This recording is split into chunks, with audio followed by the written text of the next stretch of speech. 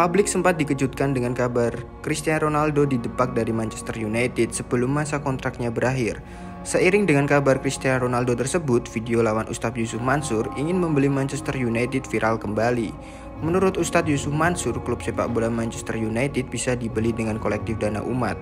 Saya merasa kita semua adalah ambasador Indonesia, every single person. Karena itu, saya enggak cuma main di lokal tapi internasional, kata Ustadz Yusuf Mansur. Oleh karena itu, Ustadz Yusuf Mansur mengaku optimis Indonesia bisa membeli klub sepak bola bertaraf internasional seperti Manchester United. Makanya kita sempat berencana mau beli Manchester United sambungnya. Pasca membeli klub Manchester United kelak, Ustadz Yusuf Mansur berencana untuk mengganti namanya menjadi Mansur United.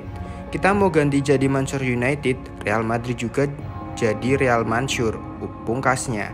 Kabar Ustadz Yusuf Mansur mau membeli klub Manchester United ini diunggah kembali oleh akun Twitter at Time dengan atensi sebanyak 17.000 disukai dan 2.782 retweet. Perihal itu, sejumlah netizen turut memberikan respon dan komentar yang beragam. Perasaan ganja belum legal deh, udah hack aja nih orang, tulisan seorang netizen. Julukannya bukan setan merah lagi nanti dong, ujar netizen lain. Sedekah dua gol buat lawan nanti bisa cetak 4 gol, ucap netizen yang lainnya juga.